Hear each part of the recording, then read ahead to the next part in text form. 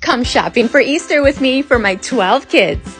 At Walmart, I got them each an Easter basket, the green ribbon ones for the eight boys and the pink ribbon ones for the four girls. Plus the egg dye kits, egg dippers, and 120 eggs. I got some of the candy from a dance fundraiser and a bunch from Wegmans. I got the little kids each a Lego set and the older kids Amazon gift cards. I got them all Apple gift cards. I bought the decorations on Temu. I got the doggies some presents too.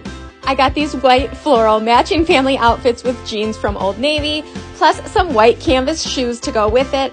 And then I decided to get these purple Easter outfits as well. In their Easter baskets, they'll all be getting a new pair of Crocs, plus a matching flamingo bathing suit, and a new pair of swim goggles. That's it for today. See you next time.